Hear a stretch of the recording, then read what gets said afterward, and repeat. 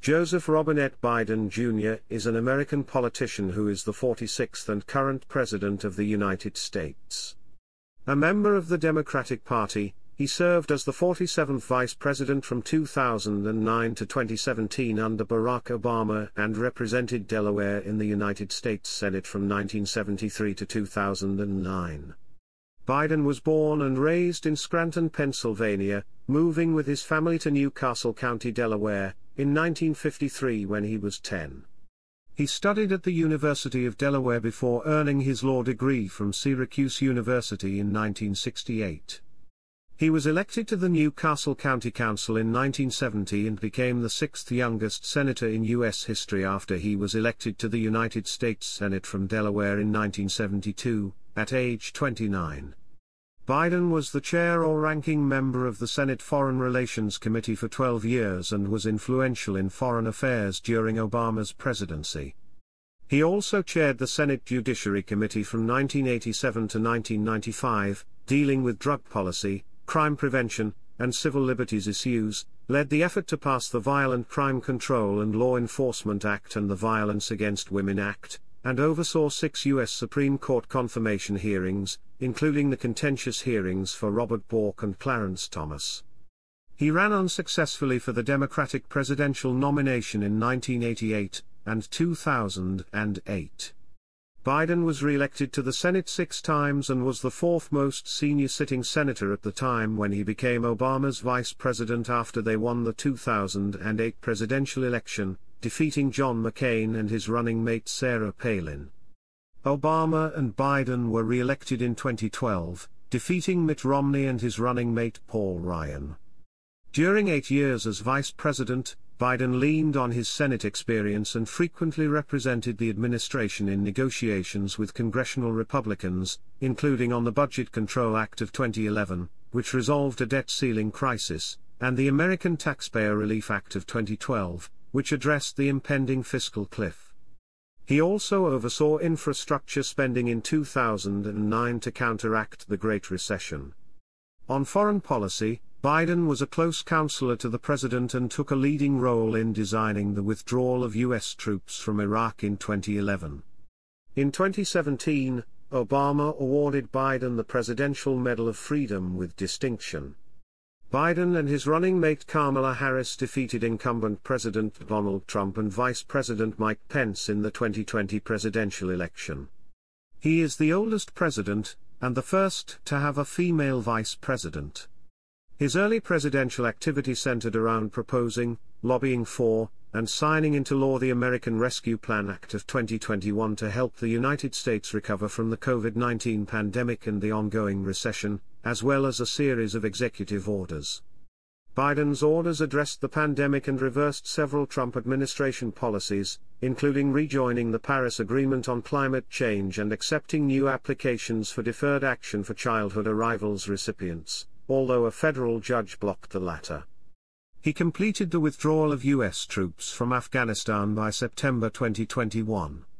During the withdrawal, the Afghan government collapsed and the Taliban seized control. Biden proposed the Build Back Better plan, aspects of which were incorporated into the Bipartisan Infrastructure Investment and Jobs Act, which Biden signed into law in November 2021. Chapter 1 Early Life Joseph Robinette Biden Jr. was born on November 20, 1942, at St. Mary's Hospital in Scranton, Pennsylvania, to Catherine Eugenia Jean Biden and Joseph Robinette Biden Sr. the oldest child in a Catholic family, he has a sister, Valerie, and two brothers, Francis and James. Jean was of Irish descent, while Joseph Sr. had English, French, and Irish ancestry. Biden's father had been wealthy, but suffered financial setbacks around the time Biden was born, and for several years the family lived with Biden's maternal grandparents. Scranton fell into economic decline during the 1950s and Biden's father could not find steady work. Beginning in 1953 when Biden was 10, the family lived in an apartment in Claymont, Delaware, before moving to a house in nearby Mayfield.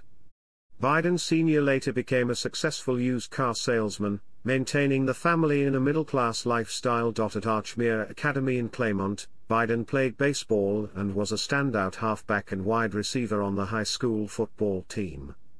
Though a poor student, he was class president in his junior and senior years. He graduated in 1961. At the University of Delaware in Newark, Biden briefly played freshman football and, as an unexceptional student, earned a Bachelor of Arts degree in 1965 with a double major in history and political science and a minor in English. Biden has a stutter, which has improved since his early 20s. He says he reduced it by reciting poetry before a mirror, but some observers suggested it affected his performance in the 2020 Democratic Party presidential debates. Chapter 2 Marriages, Law School, and Early Career on August 27, 1966, Biden married Neilia Hunter, a student at Syracuse University, after overcoming her parents' reluctance for her to wed a Roman Catholic. Their wedding was held in a Catholic church in Skaneateles, New York. They had three children, Joseph R. Bo Biden III, Robert Hunter Biden, and Naomi Christina Amy Biden. In 1968, Biden earned a Juris Doctor from Syracuse University College of Law, ranked 76th in his class of 85, after failing a course due to an acknowledged mistake when he plagiarized a law review article for a paper he wrote in his first year at law school. He was admitted to the Delaware Bar in 1969. Biden had not openly supported or opposed the Vietnam War until he ran for Senate and opposed Nixon's conduct of the war. While studying at the University of Delaware and Syracuse University, Biden obtained five student draft deferments, at a time when most draftees were sent to the Vietnam War. In 1968, based on a physical examination, he was given a conditional medical deferment. In 2008, a spokesperson for Biden said his having had asthma as a teenager was the reason for the deferment. In 1968, Biden clerked at a Wilmington law firm headed by prominent local Republican William Prickett and, he later said, thought of myself as a Republican. He disliked incumbent Democratic Delaware Governor Charles L. Terry's conservative racial politics and supported a more liberal Republican, Russell W. Peterson, who defeated Terry in 1968. Biden was recruited by local Republicans but registered as an independent because of his distaste for Republican presidential candidate Richard Nixon. In 1969, Biden practiced law first as a public defender and then at a firm headed by a locally active Democrat, who named him to the Democratic Forum, a group trying to reform and revitalize the state party. Biden subsequently re registered as a Democrat. He and another attorney also formed a law firm. Corporate law, however, did not appeal to him, and criminal law did not pay well. He supplemented his income by managing properties. In 1970, Biden ran for the 4th District seat on the New Castle County Council on a liberal platform that included support for public housing in the suburbs. The seat had been held by Republican Henry R. Folsom, who was running in the 5th District following a reapportionment of council districts. Biden won the general election by defeating Republican Lawrence T. Messick, and took office on January 5, 1971. He served until January 1, 1973, and was succeeded by Democrat Francis R. Swift. During his time on the county council, Biden opposed large highway projects, which he argued might disrupt Wilmington neighborhoods. Chapter 2 Section 1 1972 U.S. Senate Campaign in Delaware in 1972, Biden defeated Republican incumbent J. Caleb Boggs to become the junior U.S. Senator from Delaware. He was the only Democrat willing to challenge Boggs. With minimal campaign funds, he was given no chance of winning. Family members managed and staffed the campaign, which relied on meeting voters face to face and hand distributing position papers, an approach made feasible by Delaware's small size. He received help from the AFL-CIO and Democratic pollster Patrick Caddell. His platform focused on the environment, withdrawal from Vietnam, civil rights, mass transit, equitable taxation, health care, and public dissatisfaction with politics as usual. A few months before the election, Biden trailed Boggs by almost 30 percentage points, but his energy, attractive young family, and ability to connect with voters' emotions worked to his advantage, and he won with 50.5% of the vote. At the time of his election, he was still 29 years old, but reached the constitutionally required age of 30 before he was sworn in as senator. Chapter 2 Section 2 Death of Wife and Daughter On December 18, 1972, a few weeks after the election, Biden's wife Neilia and one-year-old daughter Naomi were killed in an automobile accident while Christmas shopping in Hockessin, Delaware. Neilia's station wagon was hit by a semi-trailer truck as she pulled out from an intersection. Their sons Bo and Hunter survived the accident and were taken to the hospital in fair condition, Bo with a broken leg and other wounds and Hunter with a minor skull fracture and other head injuries. Biden considered re-signing to care for them, but Senate Majority Leader Mike Mansfield persuaded him not to. Years later, Biden said he had heard that the truck driver allegedly drank alcohol before the collision. The driver's family denied that claim, and the police never substantiated it. Biden later apologized to the family. The accident had filled him with anger and religious doubt. He wrote that he felt God had played a horrible trick on him, and he had trouble focusing on work. Chapter 2 Section 3 Second Marriage Biden credits his second wife, teacher Jill Tracy Jacobs, with the renewal of his interest in politics and life. They met in 1975 on a blind date, and were married at the United Nations Chapel in New York on June 17, 1977. They spent their honeymoon at Lake Balaton in the Hungarian People's Republic, behind the Iron Curtain. They are Roman Catholics, and attend Mass at St. Joseph's on the Brandywine in Greenville, Delaware. Their daughter Ashley Biden is a social worker. She is married to physician Howard Krein. Bo Biden became an Army judge advocate in Iraq and later Delaware Attorney General. He died of brain cancer in 2015. Hunter Biden is a Washington lobbyist and investment advisor. Chapter 2 Section 4 Teaching from 1991 to 2008, as an adjunct professor, Biden co-taught a seminar on constitutional law at Widener University School of Law. The seminar often had a waiting list. Biden sometimes flew back from overseas to teach the class. Chapter 3, U.S. Senate. Chapter 3 Section 1, Senate Activities. In January 1973, Secretary of the Senate Francis R. Valeo swore Biden in at the Delaware Division of the Wilmington Medical Center. Present were his sons Bo and Hunter and other family members. At 30, he was the sixth youngest senator in U.S. history. To see his sons, Biden traveled by train between his Delaware home and D.C. minus 74 minutes each way, and maintained this habit throughout his 36 years in the Senate. During his early years in the Senate, Biden focused on consumer protection and environmental issues and called for greater government accountability.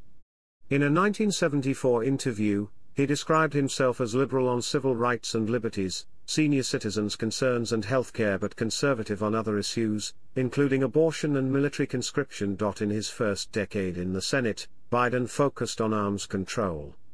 After Congress failed to ratify the SALT II treaty signed in 1979 by Soviet General Secretary Leonid Brezhnev and President Jimmy Carter, Biden met with Soviet Foreign Minister Andrei Gromyko to communicate American concerns and secured changes that addressed the Senate Foreign Relations Committee's objections. When the Reagan administration wanted to interpret the 1972 SALT Treaty loosely to allow development of the Strategic Defense Initiative, Biden argued for strict adherence to the treaty.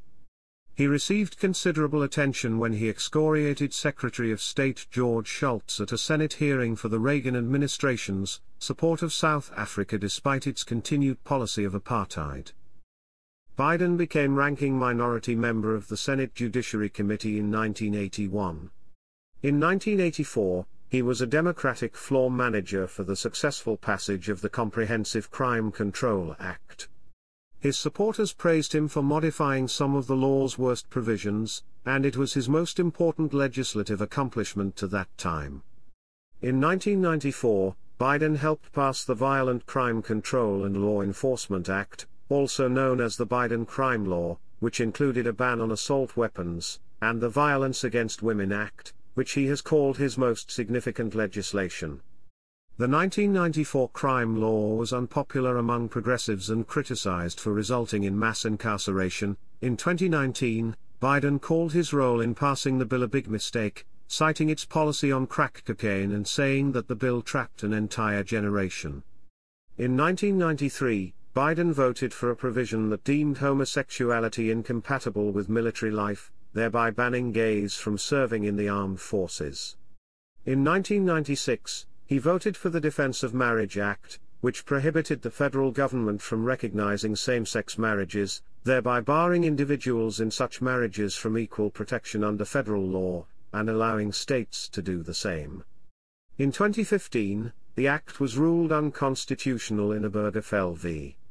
Hodges. Elected to the Senate in 1972, Biden was re-elected in 1978, 1984, 1990, 1996, 2002, and 2008, regularly receiving about 60% of the vote. He was junior senator to William Roth, who was first elected in 1970, until Roth was defeated in 2000. As of 2020, he was the 18th longest serving senator in U.S. history. Chapter 3 Section 1 Subsection 2 Opposition to Busing In the mid-1970s, Biden was one of the Senate's strongest opponents of race integration busing. His Delaware constituents strongly opposed it, and such opposition nationwide later led his party to mostly abandon school integration policies. In his first Senate campaign, Biden had expressed support for busing to remedy de jure segregation, as in the South, but opposed its use to remedy de facto segregation arising from racial patterns of neighborhood residency, as in Delaware, he opposed a proposed constitutional amendment banning busing entirely. In May 1974, Biden voted to table a proposal containing anti-busing and anti-desegregation clauses but later voted for a modified version containing a qualification that it was not intended to weaken the judiciary's power to enforce the Fifth Amendment and Fourteenth Amendment. In 1975, he supported a proposal that would have prevented the Department of Health, Education, and welfare from cutting federal funds to districts that refused to integrate. He said busing was a bankrupt idea, the cardinal rule of common sense, and that his opposition would make it easier for other liberals to follow suit. At the same time, he supported initiatives on housing, job opportunities, and voting rights. Biden supported a measure forbidding the use of federal funds for transporting students beyond the school closest to them. In 1977, he co-sponsored an amendment closing loopholes in that measure, which President Carter signed into law in 1978. Chapter 3 Section 2 Brain Surgeries In February 1988, after several episodes of increasingly severe neck pain, Biden was taken by ambulance to Walter Reed Army Medical Center for surgery to correct a leaking intracranial berry aneurysm. While recuperating, he suffered a pulmonary embolism, a serious complication. After a second aneurysm was surgically repaired in May, Biden's recuperation kept him away from the Senate for seven months. Chapter 3 Section 3 Senate Judiciary Committee Biden was a long-time member of the Senate Committee on the Judiciary. He chaired it from 1987 to 1995 and was a ranking minority member from 1981 to 1987 and again from 1995 to 1997. As chair, Biden presided over two highly contentious U.S. Supreme Court confirmation hearings.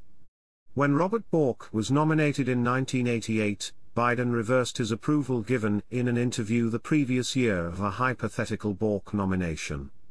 Conservatives were angered, but at the hearings close Biden was praised for his fairness, humor, and courage. Rejecting the arguments of some Bork opponents, Biden framed his objections to Bork in terms of the conflict between Bork's strong originalism and the view that the U.S. Constitution provides rights to liberty and privacy beyond those explicitly enumerated in its text. Bork's nomination was rejected in the committee by a 9 to 5 vote and then in the full Senate, 58 to 42. During Clarence Thomas's nomination hearings in 1991, Biden's questions on constitutional issues were often convoluted to the point that Thomas sometimes lost track of them, and Thomas later wrote that Biden's questions were akin to beanballs. After the committee hearing closed, the public learned that Anita Hill, a University of Oklahoma Law School professor, had accused Thomas of making unwelcome sexual comments when they had worked together.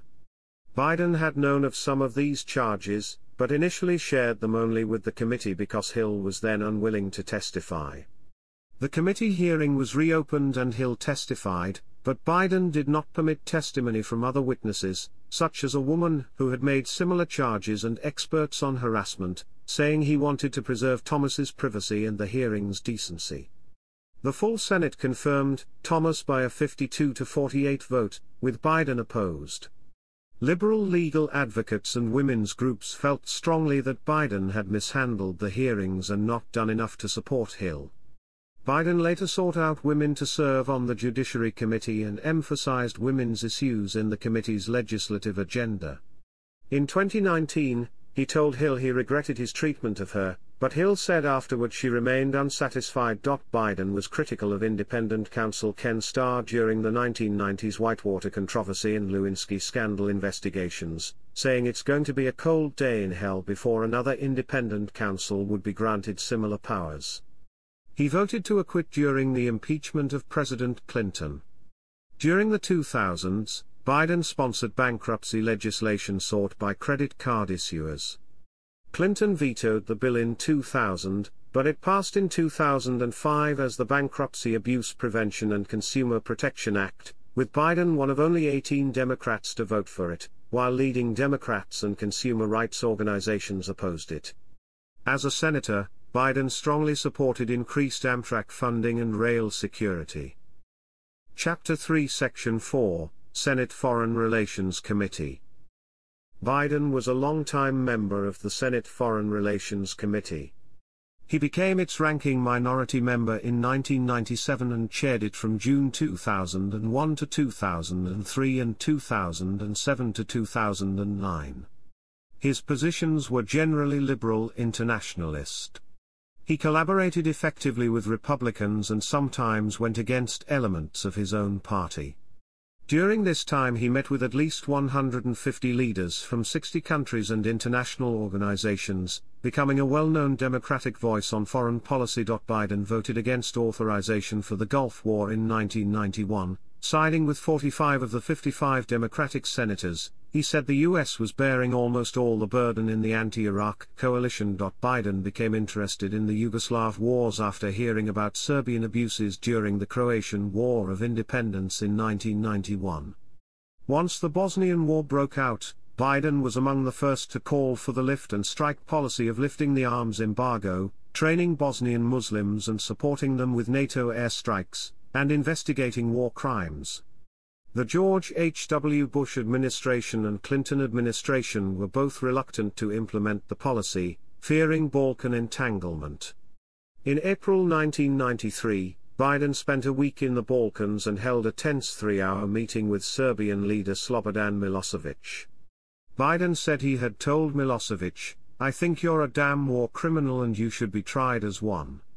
Biden wrote an amendment in 1992 to compel the Bush administration to arm the Bosnian Muslims, but deferred in 1994 to a somewhat softer stance the Clinton administration preferred, before signing on the following year to a stronger measure sponsored by Bob Dole and Joe Lieberman.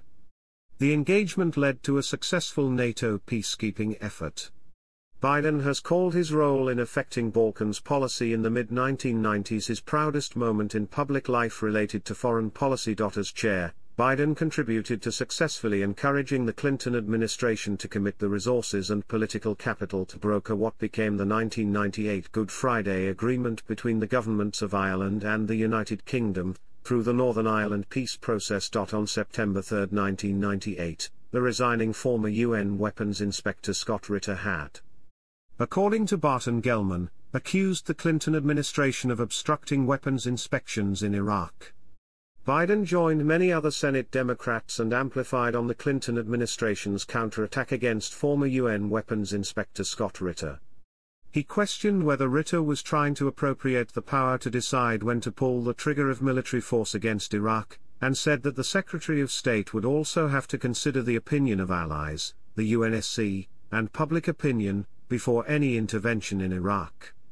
In a Washington Post op ed later that month, Biden criticized a unilateral confrontation based policy but praised the idea of asking whether intervention might be necessary at some point, though he said it was above the pay grade of one weapons inspector. In 1999, during the Kosovo War, Biden supported the 1999 NATO bombing of FR Yugoslavia. He and Senator John McCain co sponsored the McCain Biden Kosovo resolution, which called on Clinton to use all necessary force, including ground troops, to confront Milosevic over Yugoslav actions toward ethnic Albanians in Kosovo. Chapter 3 Section 4 Subsection 2 Wars in Afghanistan and Iraq Biden was a strong supporter of the war in Afghanistan, saying, whatever it takes, we should do it. As head of the Senate Foreign Relations Committee, he said in 2002 that Iraqi President Saddam Hussein was a threat to national security and there was no other option than to eliminate that threat. In October 2002, he voted in favor of the authorization for use of military force against Iraq, approving the U.S. invasion of Iraq. As chair of the committee, he assembled a series of witnesses to testify in favor of the authorization. They gave testimony grossly misrepresenting the intent, history, and status of Saddam and his secular government, which was an avowed enemy of Al Qaeda, and touted Iraq's fictional possession of weapons of mass destruction. Biden eventually became a critic of the war and viewed his vote and role as a mistake, but did not push for withdrawal. He supported the appropriations for the occupation, but argued that the war should be internationalized, that more soldiers were needed, and that the Bush administration should level with the American people about its cost and length. By late 2006, Biden's stance had shifted considerably. He opposed the troop surge of 2007, saying General David Petraeus was dead, flat wrong in believing the surge could work. Biden instead advocated dividing Iraq into a loose federation of three ethnic states. In November 2006, Biden and Leslie H. Gelb, President Emeritus of the Council on Foreign Relations, released a comprehensive strategy to end sectarian violence in Iraq. Rather than continue the existing approach or withdrawing, the plan called for a third way, federalizing Iraq and giving Kurds, Shiites, and Sunnis breathing room in their own regions.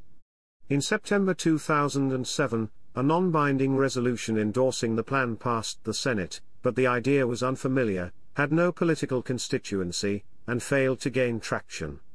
Iraq's political leadership denounced the resolution as de facto partitioning of the country, and the U.S. Embassy in Baghdad issued a statement distancing itself from it. In May 2008, Biden sharply criticized President George W. Bush's speech to Israel's Knesset in which Bush compared some Democrats to Western leaders who appeased Hitler before World War II. Biden called the speech bullshit, malarkey, and outrageous. He later apologized for his language. Chapter 4 Presidential Campaigns 1988 and 2008. Chapter 4 Section 1 1988 Campaign Biden formally declared his candidacy for the 1988 Democratic presidential nomination on June 9, 1987. He was considered a strong candidate because of his moderate image, his speaking ability, his high profile as chair of the Senate Judiciary Committee at the upcoming Robert Bork Supreme Court nomination hearings, and his appeal to baby boomers. He would have been the second youngest person elected president, after John F. Kennedy. He raised more in the first quarter of 1987 than any other candidate. By August, his campaign's messaging had become confused due to staff rivalries, and in September, he was accused of plagiarizing a speech by British Labour Party leader Neil Kinnock. Biden's speech had similar lines about being the first person in his family to attend university. Biden had credited Kinnock with the formulation on previous occasions, but did not on two occasions in late August, 230 to 232 Kinnock himself was more forgiving. The two men met in 1988, forming an enduring friendship. Earlier that year he had also used passages from a 1967 speech by Robert F. Kennedy and a short phrase from John F. Kennedy's inaugural address. Two years earlier, he had used a 1976 passage by Hubert Humphrey. Biden responded that politicians often borrow from one another without giving credit, and that one of his rivals for the nomination, Jesse Jackson, had called him to point out that he had used the same material by Humphrey that Biden had used. A few days later, an incident in law school in which Biden drew text from a Fordham Law Review article with inadequate citations was publicized. He was required to repeat the course and passed with high marks. At Biden's request the Delaware Supreme Court's Board of Professional Responsibility reviewed the incident and concluded that he had violated no rules. Biden has made several false or exaggerated claims about his early life, that he had earned three degrees in college, that he attended law school on a full scholarship, that he had graduated in the top half of his class, and that he had marched in the civil rights movement. The limited amount of other news about the presidential race amplified these disclosures and on September 23, 1987, Biden withdrew his candidacy, saying it had been overrun by the exaggerated shadow of his past mistakes. Chapter 4 Section 2, 2008 Campaign After exploring the possibility of a run in several previous cycles, in January 2007, Biden declared his candidacy in the 2008 elections. During his campaign, Biden focused on the Iraq War, his record as chairman of major Senate committees, and his foreign policy experience. In mid 2007, Biden stressed his foreign policy expertise compared to Obama's. Biden was noted for his one liners during the campaign, in one debate he said of Republican candidate Rudy Giuliani, there's only three things he mentions in a sentence, a noun, and a verb and 9-11. Biden had difficulty raising funds, struggled to draw people to his rallies, and failed to gain traction against the high-profile candidacies of Obama and Senator Hillary Clinton. He never rose above single digits in national polls of the Democratic candidates. In the first contest on January 3, 2008, Biden placed fifth in the Iowa caucuses, garnering slightly less than 1% of the state delegates. He withdrew from the race that evening. Despite its lack of success, Biden's 2008 campaign raised his stature in the political world, 336 in particular, it changed the relationship between Biden and Obama.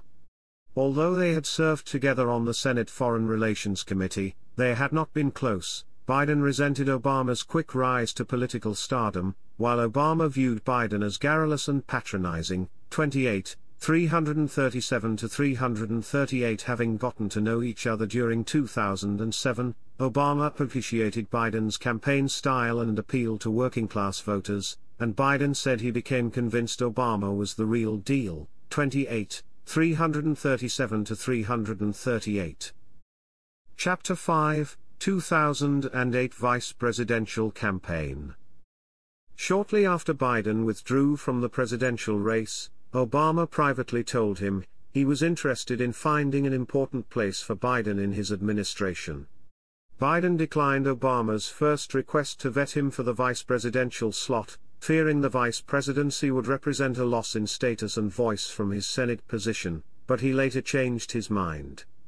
In early August, Obama and Biden met in secret to discuss the possibility, and developed a strong personal rapport. On August 22, 2008, Obama announced that Biden would be his running mate. The New York Times reported that the strategy behind the choice reflected a desire to fill out the ticket with someone with foreign policy and national security experience, and not to help the ticket win a swing state or to emphasize Obama's change message. Others pointed out Biden's appeal to middle class and blue collar voters, as well as his willingness to aggressively challenge Republican nominee John McCain in a way that Obama seemed uncomfortable doing at times. In accepting Obama's offer, Biden ruled out running for president again in 2016, but his comments in later years seemed to back off that stance, as he did not want to diminish his political power by appearing uninterested in advancement. Biden was officially nominated for vice president on August 27 by voice vote at the 2008 Democratic National Convention in Denver. Biden's vice presidential campaigning gained little media visibility, as far greater press attention was focused on the Republican running mate, Alaska Governor Sarah Palin. During one week in September 2008, For instance, the Pew Research Center's Project for Excellence in Journalism found that Biden was included in only 5% of coverage of the race, far less than the other three candidates on the tickets received. Biden nevertheless focused on campaigning in economically challenged areas of swing states and trying to win over blue collar Democrats, especially those who had supported Hillary Clinton. Biden attacked McCain heavily despite a long standing personal friendship. He said, that guy I used to know, he's gone. It literally saddens me. As the financial crisis of 2007 to 2010 reached a peak with the liquidity crisis of September 2008 and the proposed bailout of the United States financial system became a major factor in the campaign, Biden voted in favor of the $700 billion Emergency Economic Stabilization Act of 2008, which went on to pass in the Senate 74 to 25. On October 2, 2008, Biden participated in the vice presidential debate with Palin at Washington University in St. Louis. Post debate polls found that while Palin exceeded many voters' expectations, Biden had won the debate overall. During the campaign's final days, he focused on less populated, older, less well off areas of battleground states, especially Florida, Ohio, and Pennsylvania, where polling indicated he was popular and where Obama had not campaigned or performed well in the Democratic primaries.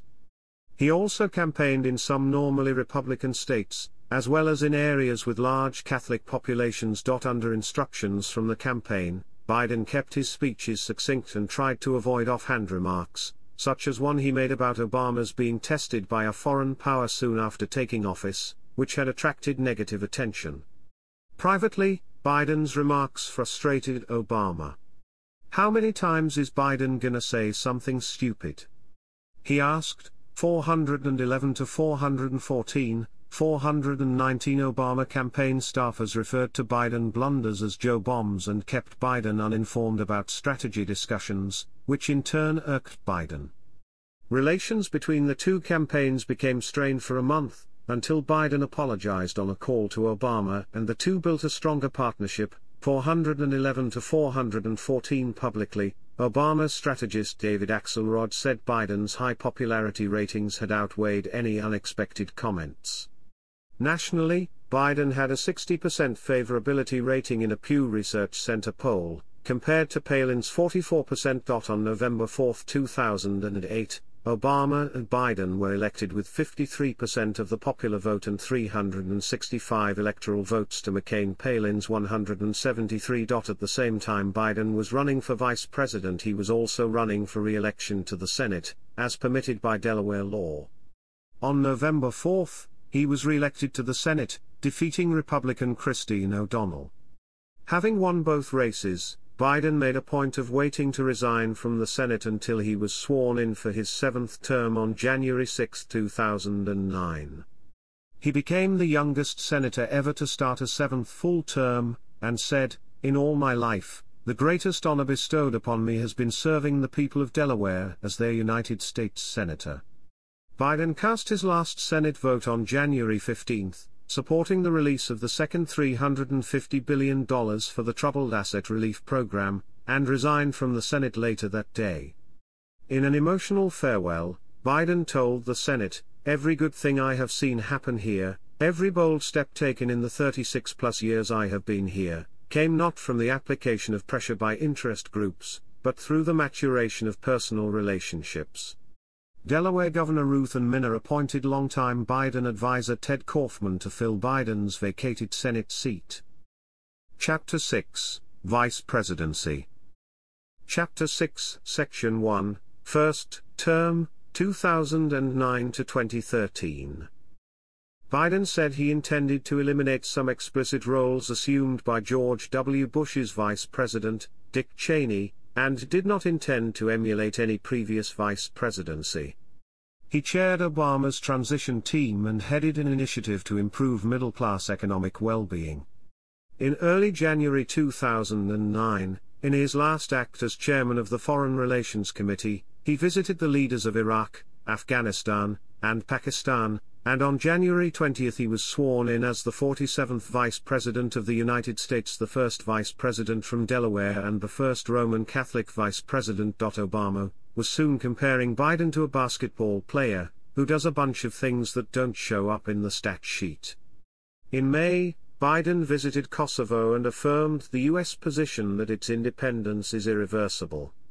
Biden lost an internal debate to Secretary of State Hillary Clinton about sending 21,000 new troops to Afghanistan, but his skepticism was valued, and in 2009, Biden's views gained more influence as Obama reconsidered his Afghanistan strategy. Biden visited Iraq about every two months, becoming the administration's point man in delivering messages to Iraqi leadership about expected progress there.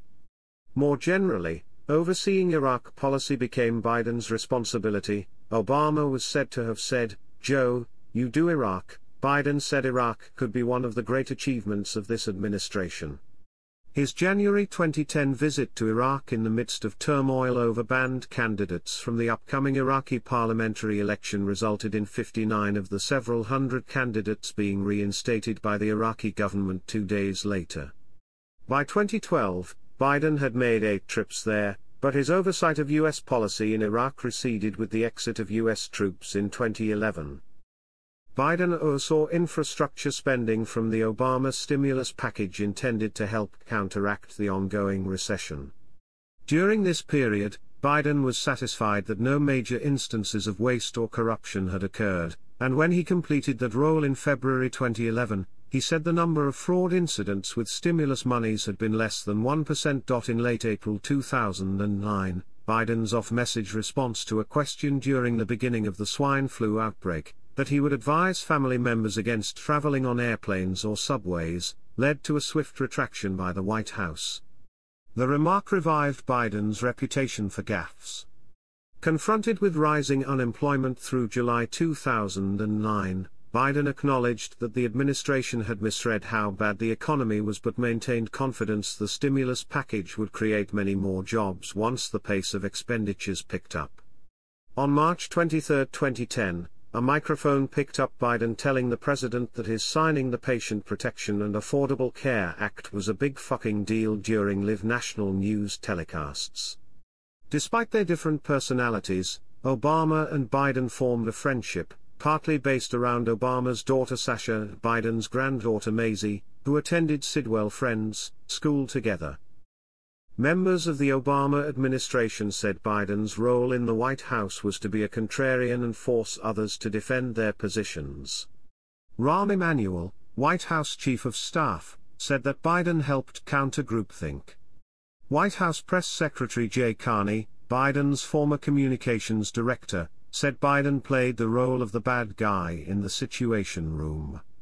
Another senior Obama advisor said Biden is always prepared to be the skunk at the family picnic to make sure we are as intellectually honest as possible. Obama said, The best thing about Joe is that when we get everybody together, he really forces people to think and defend their positions, to look at things from every angle, and that is very valuable for me. The Bidens maintained a relaxed atmosphere at their official residence in Washington, often entertaining their grandchildren, and regularly returned to their home in Delaware. Biden campaigned heavily for Democrats in the 2010 midterm elections, maintaining an attitude of optimism in the face of predictions of large scale losses for the party. Following big Republican gains in the elections and the departure of White House Chief of Staff Rahm Emanuel, Biden's past relationships with Republicans in Congress became more important. He led the successful administration effort to gain Senate approval for the New START treaty. In December 2010, Biden's advocacy for a middle ground, followed by his negotiations with Senate Minority Leader Mitch McConnell, were instrumental in producing the administration's compromise tax package that included a temporary extension of the Bush tax cuts.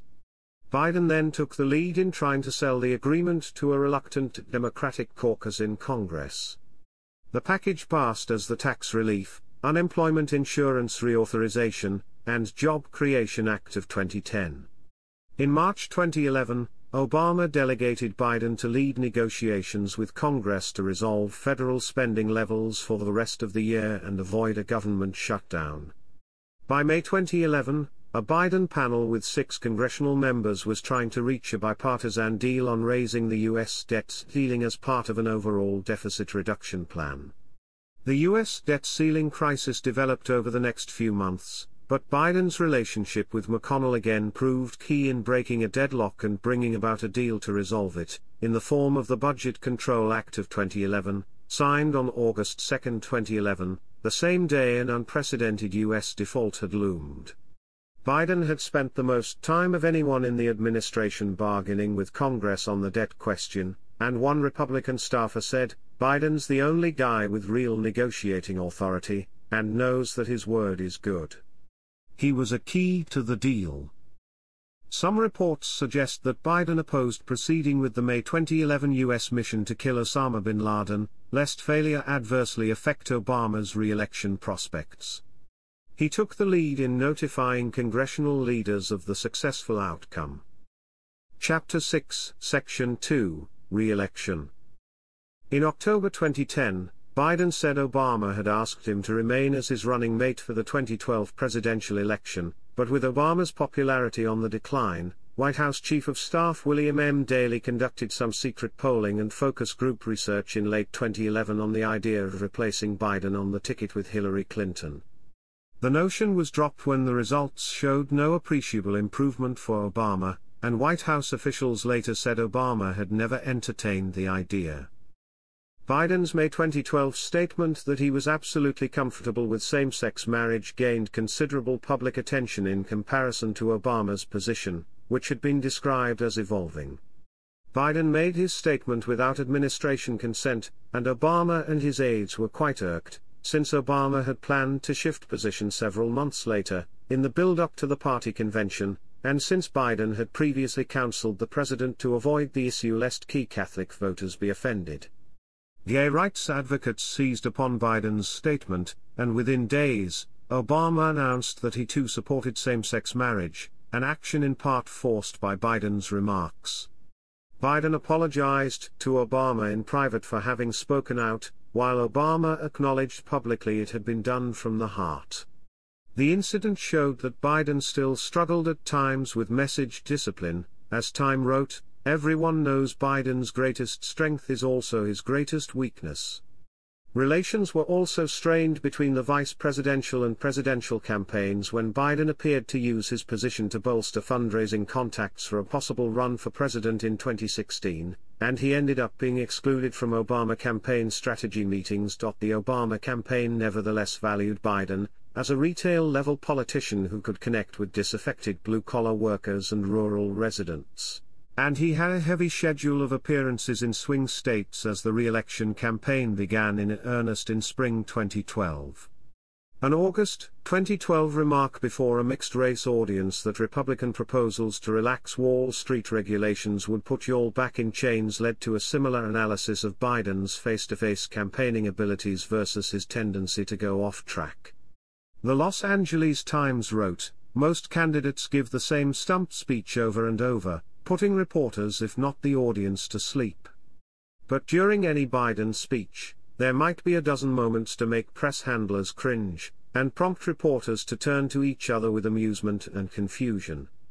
Time magazine wrote that Biden often went too far and along with the familiar Washington mix of neediness and overconfidence, Biden's brain is wired for more than the usual amount of goofiness. Biden was nominated for a second term as vice president at the 2012 Democratic National Convention in September.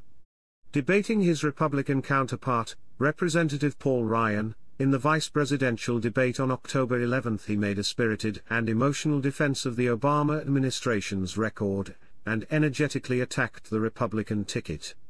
On November 6, Obama and Biden won re-election over Mitt Romney and Paul Ryan with 332 of 538 electoral college votes and 51% of the popular vote. In December 2012, Obama named Biden to head the Gun Violence Task Force, created to address the causes of gun violence in the United States in the aftermath of the Sandy Hook Elementary School shooting.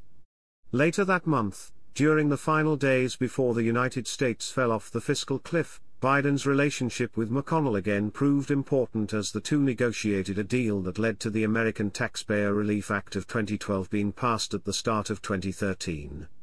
It made many of the Bush tax cuts permanent but raised rates on upper income levels. Chapter 6 Section 3, Second Term, 2013 to 2017. Biden was inaugurated to a second term on January 20, 2013, at a small ceremony at Number 1 Observatory Circle, his official residence, with Justice Sonia Sotomayor presiding. Biden played little part in discussions that led to the October 2013 passage of the Continuing Appropriations Act, 2014, which resolved the federal government shutdown of 2013 and the debt ceiling crisis of 2013. This was because Senate Majority Leader Harry Reid and other Democratic leaders cut him out of any direct talks with Congress, feeling Biden had given too much away during previous negotiations. Biden's Violence Against Women Act was reauthorized again in 2013. The act led to related developments, such as the White House Council on Women and Girls, begun in the first term, as well as the White House Task Force to Protect Students from Sexual Assault, begun in January 2014 with Biden and Valerie Jarrett as co-chairs. Biden discussed federal guidelines on sexual assault on university campuses while giving a speech at the University of New Hampshire. He said, No means no, if you're drunk or you're sober. No means no if you're in bed, in a dorm or on the street. No means no even if you said yes at first and you changed your mind. No means no. Biden favored arming Syria's rebel fighters. As Iraq fell apart during 2014, renewed attention was paid to the Biden-Gelb Iraqi federalization plan of 2006, with some observers suggesting Biden had been right all along. Biden himself said the US would follow Islamic State of Iraq and the Levant to the gates of hell. Biden had close relationships with several Latin American leaders, and was assigned a focus on the region during the administration, he visited the region 16 times during his vice presidency, the most of any president or vice president. In 2015, Speaker of the House John Boehner and Senate Majority Leader Mitch McConnell invited Israeli Prime Minister Benjamin Netanyahu to address a joint session of Congress without notifying the Obama administration. This defiance of protocol led Biden, and more than 50 congressional Democrats to skip Netanyahu's speech. In August 2016, Biden visited Serbia, where he met with Serbian President Aleksandar Vucic and expressed his condolences for civilian victims of the bombing campaign during the Kosovo War. In Kosovo, he attended a ceremony renaming a highway after his son Beau, in honor of Beau's service to Kosovo in training its judges and prosecutors. Biden never cast a tie breaking vote in the Senate, making him the longest serving vice president with this distinction. Chapter 6, Section 4 Role in the 2016 Presidential Campaign. During his second term, Biden was often said to be preparing for a possible bid for the 2016 Democratic presidential nomination. With his family, many friends, and donors encouraging him in mid 2015 to enter the race, and with Hillary Clinton's favorability ratings in decline at that time, Biden was reported to again be seriously considering the prospect and a draft Biden 2016 PAC was established. As of September 11, 2015, Biden was still uncertain about running. He felt his son's recent death had largely drained his emotional energy, and said, Nobody has a right to seek that office unless they're willing to give it 110% of who they are. On October 21, Speaking from a podium in the Rose Garden with his wife and Obama by his side, Biden announced his decision not to run for president in 2016. In January 2016, Biden affirmed that it was the right decision, but admitted to regretting not running for president every day. After Obama endorsed Hillary Clinton on June 9, 2016, Biden endorsed her later that day. Throughout the 2016 election, Biden strongly criticized Clinton's opponent, Donald Trump, in often colorful terms. Chapter 7 Subsequent Activities After leaving the vice presidency, Biden became a professor at the University of Pennsylvania, while continuing to lead efforts to find treatments for cancer. In 2017 he wrote a memoir, Promise Me, Dad, and went on a book tour. Biden earned $15.6 million in 2017 to 2018. In 2018, he gave a eulogy for Senator John McCain, praising McCain's embrace of American ideals and bipartisan friendships. Biden remained in the public eye, endorsing candidates while continuing to comment on politics, climate change, and the presidency of Donald Trump. He also continued to speak out in favor of LGBT rights, continuing advocacy on an issue he had become more closely associated with during his vice presidency. In 2019, Biden criticized Brunei for its intention to implement Islamic laws that would allow death by stoning for adultery and homosexuality, calling it appalling and immoral and saying, there is no excuse, not culture, not tradition, for this kind of hate and inhumanity. By 2019, Biden and his wife reported that their assets had increased to between $2.2 million and $8 million from speaking engagements and a contract to write a set of books. Chapter 8 2020 Presidential Campaign. Chapter 8 Section 1 Speculation and Announcement. Between 2016 and 2019, media outlets often mentioned Biden as a likely candidate for president in 2020. When asked if he would run, he gave varied and ambivalent answers, saying never say never. At one point he suggested he did not see a scenario where he would run again, but a few days later, he said, I'll run if I can walk. A political action committee known as Time for Biden was formed in January 2018, seeking Biden's entry into the race. He finally launched his campaign on April 25, 2019, saying he was prompted to run, among other reasons, by his sense of duty. Chapter 8 Section 2 Campaign In September 2019, it was reported that Trump had pressured Ukrainian President Volodymyr Zelensky to investigate alleged wrongdoing by Biden and his son Hunter Biden. Despite the allegations, no evidence was produced of any wrongdoing by the Bidens. The media widely interpreted this pressure to investigate the Bidens as trying to hurt Biden's chances of winning the presidency, resulting in a political scandal and Trump's impeachment by the House of Representatives. Beginning in 2019, Trump and his allies falsely accused Biden of getting the Ukrainian prosecutor general Viktor Shokin fired because he was supposedly pursuing an investigation into Burisma Holdings, which employed Hunter Biden. Biden was accused of withholding $1 billion in aid from Ukraine in this effort. In 2015, Biden pressured the Ukrainian parliament to remove Shokin because the United States, the European Union, and other international organizations considered Shokin corrupt and ineffective, and in particular because Shokin was not assertively investigating Burisma. The withholding of the $1 billion in aid was part of this official policy. The Senate Homeland Security Committee and Senate Finance Committee, led by Republicans, investigated allegations of wrongdoing by the Bidens in Ukraine, ultimately releasing a report in September 2020 that detailed no evidence of wrongdoing by Joe Biden, and concluded that it was not clear whether Hunter Biden's role in Burisma affected U.S. policy toward Ukraine. In March 2019 and April 2019, Biden was accused by eight women of previous instances of inappropriate physical contact, such as embracing, touching, or kissing. Biden had previously described himself as a tactile politician and admitted this behavior has caused trouble for him. In April 2019, Biden pledged to be more respectful of people's personal space. Throughout 2019, Biden stayed generally ahead of other Democrats in national polls. Despite this, he finished fourth in the Iowa caucuses, and eight days later, fifth in the New Hampshire primary. He performed better in the Nevada caucuses, reaching the 15% required for delegates, but still was behind Bernie Sanders by 21.6 percentage points making strong appeals to black voters on the campaign trail and in the South Carolina debate, Biden won the South Carolina primary by more than 28 points. After the withdrawals and subsequent endorsements of candidates Pete Buttigieg and Amy Klobuchar, he made large gains in the March 3 Super Tuesday primary elections.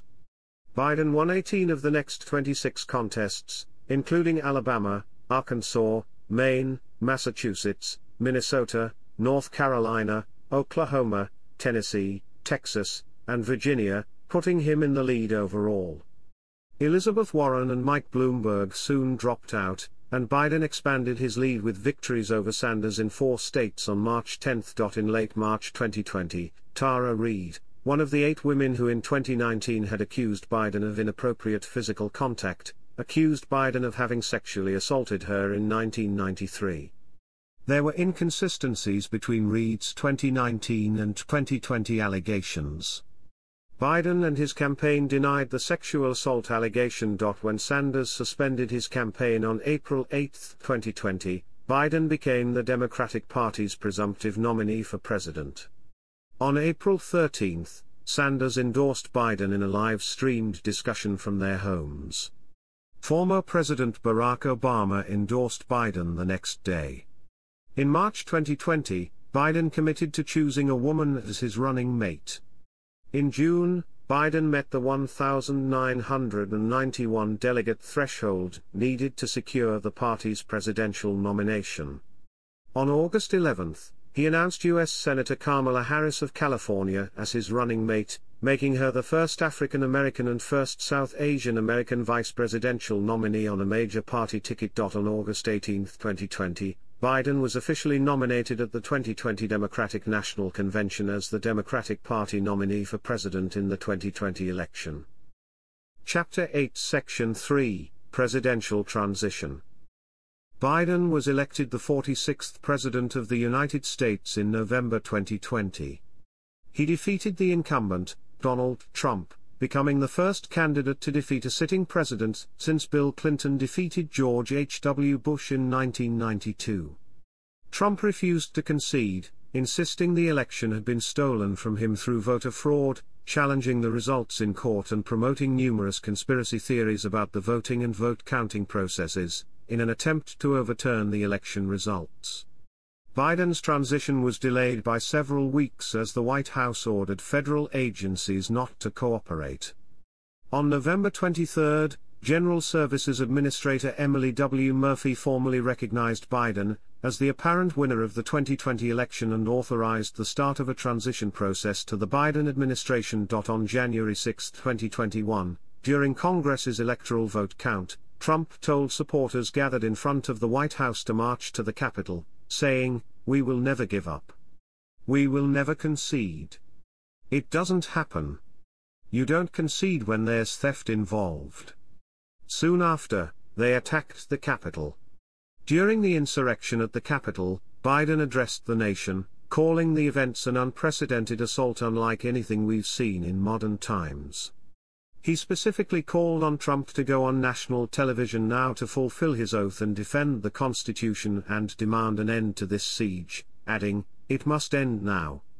After the Capitol was cleared, Congress resumed its joint session and officially certified the election results with Pence declaring Biden and Harris the winners. In December 2020, Biden received his first dose of the Pfizer BioNTech COVID 19 vaccine at the Christiana Hospital in Delaware, publicly taking the vaccine on live television to build trust in the vaccine and to encourage Americans to get inoculated. He returned for his second dose in January 2021. Chapter 9 Presidency Chapter 9 Section 1 Inauguration Biden was inaugurated as the 46th President of the United States on January 20, 2021. At 78, he is the oldest person to have assumed the office. He is the second Catholic president and the first president whose home state is Delaware. He is the second non-incumbent vice president to be elected president. He is also the first president from the silent generation. Biden's inauguration was a muted affair unlike any previous inauguration due to COVID-19 precautions as well as massively increased security measures because of a threat of widespread civil unrest. Biden took the oath of office on the Capitol's West Steps and gave an inaugural address, but there were no spectators on the mall and no in-person parades or inaugural balls. Trump did not attend, becoming the first outgoing president since 1869 to not attend his successor's inauguration. Chapter 9 Section 2 First 100 Days. In his first two days as president, Biden signed 17 executive orders, more than most recent presidents did in their first 100 days. By his third day, orders had included rejoining the Paris Climate Agreement, ending the state of national emergency at the border with Mexico, directing the government to rejoin the World Health Organization, face mask requirements on federal property, measures to combat hunger in the United States, and revoking permits for the construction of the Keystone XL pipeline. In his first two weeks in office, Biden signed more executive orders than any other president since Franklin D. Roosevelt had in their first month in office. On February 4, 2021, the Biden administration announced that the United States was ending its support for the Saudi led bombing campaign in Yemen. In his first visit to the State Department as president, Biden said this war has to end and that the conflict had created a humanitarian and strategic catastrophe. On February 25, the Biden administration struck a site in Syria used by two Iranian-backed militia groups in response to rocket attacks on American forces. This marked the first known action by the military under Biden. On March 11, the first anniversary of COVID-19 being declared a global pandemic by the World Health Organization, Biden signed into law the American Rescue Plan Act of 2021, a $1.9 trillion economic stimulus relief package he proposed and lobbied for that aimed to speed up the United States' recovery from the economic and health effects of the COVID 19 pandemic and the ongoing recession. The package included direct payments to most Americans, an extension of increased unemployment benefits, funds for vaccine distribution and school reopenings, support for small businesses and state and local governments, and expansions of health insurance subsidies and the child tax credit. Biden's initial proposal included an increase of the federal minimum wage to $15 per hour, but after Senate parliamentarian Elizabeth MacDonough determined that including the increase in a budget reconciliation bill would violate Senate rules, Democrats declined to pursue overruling her and removed the increase from the package. Also in March, amid a rise in migrants entering the U.S. from Mexico, Biden told migrants, don't come over, he said that the US was arranging a plan for migrants to apply for asylum in place, without leaving their original locations. In the meantime, migrant adults are being sent back, Biden said, in reference to the continuation of the Trump administration's Title 42 policy for quick deportations. Biden earlier announced that his administration would not deport unaccompanied migrant children, the rise in arrivals of such children exceeded the capacity of facilities meant to shelter them, leading the Biden administration in March to direct the Federal Emergency Management Agency to help manage these children. On April 14, Biden announced that the United States would delay the withdrawal of all troops from the war in Afghanistan until September 11, signaling an end to the country's direct military involvement in Afghanistan after nearly 20 years. In February 2020, the Trump administration had made a deal with the Taliban to completely withdraw U.S. forces by May 1, 2021. Biden's decision met with a wide range of reactions, from support and relief to trepidation at the possible collapse of the Afghan government without American support. On April the 22nd to the 23rd, Biden held an international climate summit at which he announced that the U.S. would cut its greenhouse gas emissions by 50% to 52% by 2030 compared to 2005 levels. Other countries also increased their pledges. If the pledges made at the summit are met, they will cut global greenhouse gas emissions by 2.6 to 3.7 to e by 2030. On April 28, the eve of his 100th day in office, Biden delivered his first address to a joint session of Congress, in which he highlighted the effectiveness of COVID 19 vaccines and addressed withdrawing troops from Afghanistan, the murder of George Floyd, and the U.S. Capitol attack while urging Congress to pass comprehensive immigration, gun, and health care reform. Chapter 9, Section 3 Rest of 2021. In May 2021, during a flare up in the Israeli Palestinian conflict, Biden expressed his support for Israel, saying my party still supports Israel amid disagreement from some Democrats. In June 2021, Biden took his first trip abroad as president. In eight days he visited Belgium, Switzerland, and the United Kingdom. He attended a G7 summit, a NATO summit, and an EU summit, and held one-on-one talks with Russian President Vladimir Putin. On June 17, Biden signed the Juneteenth National Independence Day Act, which officially declared Juneteenth a federal holiday. Juneteenth is the first new federal holiday since Martin Luther King Jr. Day was declared a holiday in 1986. In July 2021, amid a slowing of the COVID-19 vaccination rate in the country and the spread of the SARS-CoV-2 Delta variant, Biden said that the country has a pandemic for those who haven't gotten the vaccination and that it was therefore gigantically important for Americans to be vaccinated, touting the vaccine's effectiveness against hospitalizations and deaths from COVID-19. He also criticized the prevalence of COVID-19 misinformation on social media, saying it was killing people.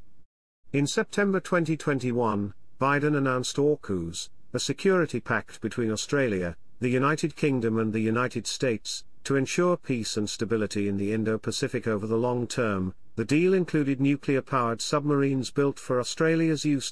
By the end of 2021, 40 of Biden's appointed judges to the federal judiciary had been confirmed, more than any president in their first year in office since Ronald Reagan. Biden has prioritized diversity in his judicial appointments more than any president in U.S. history, with the majority of appointments being women and people of color. Most of his appointments have been in blue states, making a limited impact since the courts in these states already traditionally lean liberal. In the first eight months of his presidency, Biden's approval rating, according to Morning Consult polling, remained above 50%. In August, it began to decline and lowered into the low 40s by December. The decline in his approval is attributed to the Afghanistan withdrawal, increasing hospitalizations from the Delta variant, high inflation and gas prices, disarray within the Democratic Party, and a general decline in popularity customary in politics. Chapter 9 Section 3 Subsection 2 Withdrawal from Afghanistan American forces began withdrawing from Afghanistan in 2020, under the provisions of a February 2020 U.S. Taliban agreement that set a May 1, 2021, deadline. By April 2021, the State Department was urging American civilians in Afghanistan to leave as soon as possible. The Taliban began an offensive on May 1. As late as July, American intelligence assessments estimated Kabul would fall to the Taliban months or weeks after the withdrawal of American forces from Afghanistan. By early July, most American troops in Afghanistan had withdrawn. Biden addressed the withdrawal in July, saying, the likelihood there's going to be the Taliban overrunning everything and owning the whole country is highly unlikely. On August 15, the Afghan government collapsed under the Taliban offensive, and Afghan President Ashraf Ghani fled the country. Biden reacted by ordering 6,000 American troops to assist in the evacuation of American personnel and Afghan allies. He was widely criticized for the manner of the withdrawal, with allegations of poor planning for the evacuation of Americans and Afghan allies, and for his silence and absence during the days before the collapse of the Afghan government. On August 16, Biden addressed the messy situation, taking responsibility for it, and admitting that the situation unfolded more quickly than we had anticipated. He defended his decision to withdraw, saying that Americans should not be dying in a war that Afghan forces are not willing to fight for themselves, and blamed his predecessor Donald Trump, the Afghan president, and Afghan security forces for the speedy collapse. On August 22, Biden said that his administration knew that ISIS-K was a likely source of threat. On August 26, a suicide bombing at the Kabul airport killed 13 U.S. service members and 169 Afghans. Biden declared to the attackers that the United States will hunt you down and make you pay. On August 27, an American drone strike killed two ISIS-K targets, who were planners and facilitators, according to a U.S. Army general. On August 29, another American drone strike killed 10 civilians, including seven children. The Defense Department initially claimed the strike was conducted on an Islamic State suicide bomber threatening Kabul airport, but admitted the mistake on September 17 and apologized. The U.S. military left Afghanistan on August 30, with Biden saying that the evacuation effort was an extraordinary success, by extracting over 120,000 Americans, Afghans, and other allies. He acknowledged that between 100 to 200 Americans who wanted to leave were left in Afghanistan, despite his August 18 pledge to stay in Afghanistan until all Americans who wanted to leave had left. The Biden administration, joining governments of almost 100 countries, said that the Taliban had given assurances that anyone with travel authorization from countries would continue to be allowed to leave Afghanistan. Chapter 9 Section 3 Subsection 3 Economy Biden entered office nine months into a recovery from the COVID 19 recession, and his first year in office was characterized by robust growth in real GDP, employment, wages, and stock market returns, amid significantly elevated inflation. Real GDP grew 5.7%, the fastest rate in 37 years. Amid record job creation, the unemployment rate fell at the fastest pace on record during the year.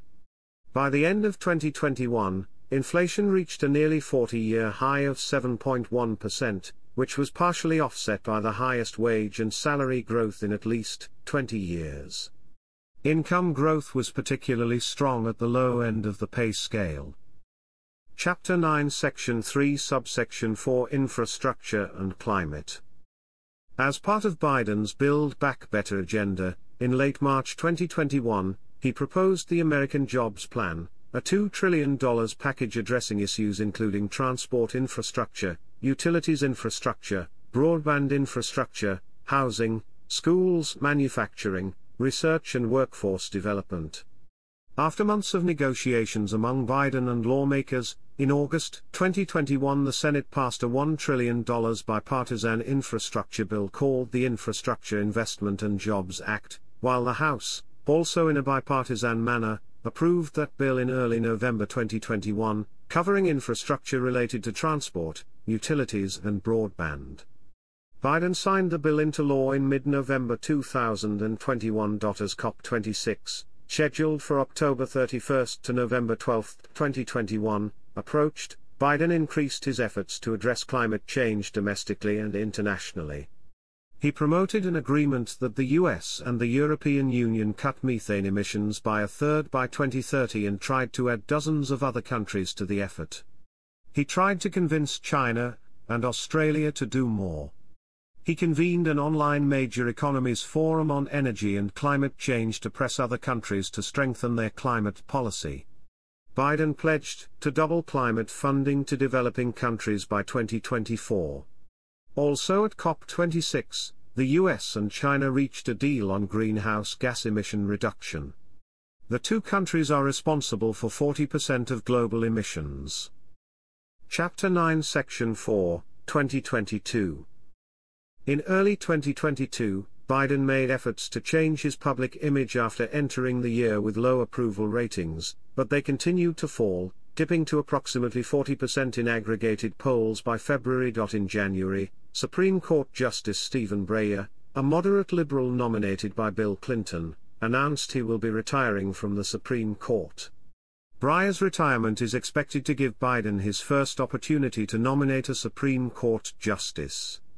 During his 2020 campaign, Biden vowed to nominate a black woman to the court if a vacancy occurred, a promise he reiterated after the announcement of Breyer's retirement.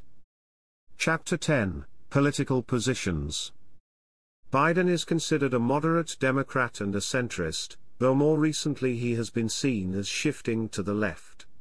He has a lifetime liberal 72% score from the Americans for Democratic Action through 2004, while the American Conservative Union gave him a lifetime conservative rating of 13% through 2000, and 8. Biden supported the fiscal stimulus in the American Recovery and Reinvestment Act of 2009, the Obama administration's proposed increase in infrastructure spending, subsidies for mass transit, including Amtrak, bus, and subway, and the reduced military spending in the Obama administration's fiscal year 2014 budget. He has proposed partially reversing the corporate tax cuts of the Tax Cuts and Jobs Act of 2017, saying that doing so would not hurt businesses' ability to hire. He voted for the North American Free Trade Agreement and the Trans-Pacific Partnership. Biden is a staunch supporter of the Affordable Care Act. He has promoted a plan to expand and build upon it, paid for by revenue gained from reversing some Trump administration tax cuts. Biden's plan aims to expand health insurance coverage to 97% of Americans, including by creating a public health insurance option. Biden has supported same sex marriage since 2012 and also supports Roe v. Wade and repealing the Hyde Amendment. He opposes drilling for oil in the Arctic National Wildlife Refuge and supports governmental funding to find new energy sources. As a senator, he forged deep relationships with police groups and was a chief proponent of a police officers' Bill of Rights measure that police unions supported but police chiefs opposed. As vice president, he served as a White House liaison to police. Biden believes action must be taken on global warming. As a senator, he co-sponsored the sense of the Senate resolution calling on the United States to take part in the United Nations climate negotiations and the Boxer Sanders Global Warming Pollution Reduction Act, the most stringent climate bill in the United States Senate. He wants to achieve a carbon-free power sector in the US by 2035 and stop emissions completely by 2050. His program includes re-entering the Paris Agreement, nature conservation, and green building. Biden wants to pressure China and other countries to cut greenhouse gas emissions by carbon tariffs if necessary. Biden has said the US needs to get tough on China and build a united front of US allies and partners to confront China's abusive behaviors and human rights violations. He has called China the most serious competitor that poses challenges to the United States' prosperity, security, and democratic values. Biden has voiced concerns about China's coercive and unfair economic practices and human rights abuses in the Xinjiang region to the Chinese Communist Party leader Xi Jinping. He also pledged to sanction and commercially restrict Chinese government officials and entities who carry out repression. Biden has said he is against regime change, but for providing non-military support to opposition movements. He opposed direct U.S. intervention in Libya, voted against U.S. participation in the Gulf War, voted in favor of the Iraq War, and supports a two-state solution in the Israeli-Palestinian conflict. Biden has pledged to end U.S. support for the Saudi Arabian-led intervention in Yemen, and to re-evaluate the United States' relationship with Saudi Arabia. He has called North Korea a tiger. As vice president, Biden supported Obama's Cuban thaw. He has said that, as president, he would restore U.S. membership in key United Nations bodies, such as the UN Educational, Scientific and Cultural Organization, the World Health Organization, and possibly the Human Rights Council. Biden supports extending the New START arms control treaty with Russia to limit the number of nuclear weapons deployed by both sides. In 2021, Biden recognized the Armenian genocide, becoming the first U.S. president to do so. Chapter 11 Reputation Biden was consistently ranked one of the least wealthy members of the Senate, which he attributed to his having been elected young. Feeling that less wealthy public officials may be tempted to accept contributions in exchange for political favors, he proposed campaign finance reform measures during his first term. As of November 2009, Biden's net worth was $27,012. By November 2020, the Bidens were worth $9 million, largely due to sales of Biden's books and speaking fees after his vice presidency. The political writer Howard Fineman has written Biden is not an academic, he's not a theoretical thinker, he's a great street pol. He comes from a long line of working people in Scranton, auto salesmen, car dealers, people who know how to make a sale. He has that great Irish gift. Political columnist David S. Broder wrote that Biden has grown over time, he responds to real people, that's been consistent throughout. And his ability to understand himself and deal with other politicians has gotten much much better. Journalist James Traub has written that Biden is the kind of fundamentally happy person who can be as generous toward others as he is to himself. In recent years, especially after the 2015 death of his elder son Beau, Biden has been noted for his empathetic nature and ability to communicate about grief. In 2020, CNN wrote that his presidential campaign aimed to make him healer in chief, while the New York Times described his extensive history of being called upon to give eulogies. Doc Journalist and TV anchor Wolf Blitzer has described Biden as loquacious. He often deviates from prepared remarks and sometimes puts his foot in his mouth. The New York Times wrote that Biden's weak filters make him capable of blurting out pretty much anything. In 2018, Biden called himself a gaffe machine. Some of his gaffes have been characterized as racially insensitive. Chapter 12 Electoral History. Chapter 13 Publications. Chapter 13 Section 1 Works cited.